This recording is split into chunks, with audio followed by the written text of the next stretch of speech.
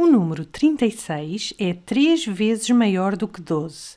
Escreve esta afirmação como uma igualdade que envolve uma multiplicação. Então estão a dizer-nos que o número 36 é, vou escrever, igual a a quê?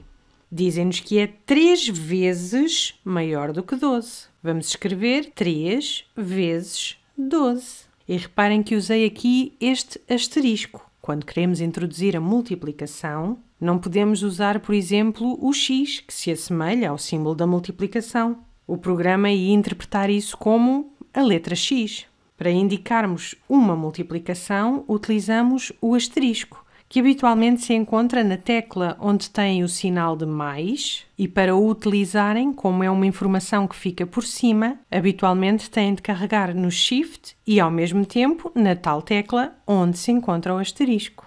E reparem que ao usarmos este símbolo, ficamos com a expressão 36 igual a 3 vezes 12 escrita por baixo. Então estamos a dizer que 36 é igual a 3 vezes 12 ou 36 é 3 vezes maior do que 12. Vamos verificar a nossa resposta e está correta.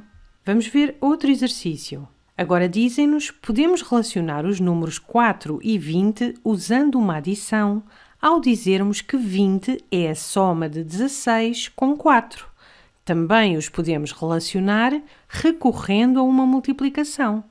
Preencha os espaços em branco de modo a que a afirmação obtida traduza uma relação entre os números que envolva uma multiplicação.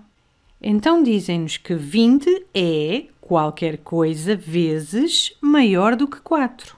Bem, sabemos que 4 vezes 5 é igual a 20 ou que 5 vezes 4 é igual a 20. Por isso podemos dizer que 20 é 5 vezes maior do que 4. Se pegarmos no 4 5 vezes, ficamos com 20. Vamos verificar a nossa resposta e está correta. Vamos ver um último exercício. O número 6 é 3 vezes maior do que 2. Escreve esta afirmação como uma igualdade que envolve uma multiplicação.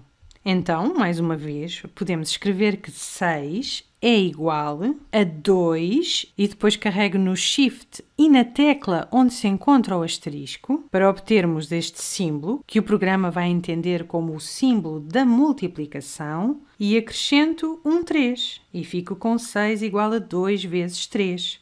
Ou, embora isto que escrevemos também esteja correto, podemos também escrever a ordem dos fatores pela ordem que eles se encontram na frase e dizermos nesse caso que 6 é igual a 3 vezes 2. Escrevendo assim uma igualdade que nos diz que 6 é 3 vezes maior do que 2.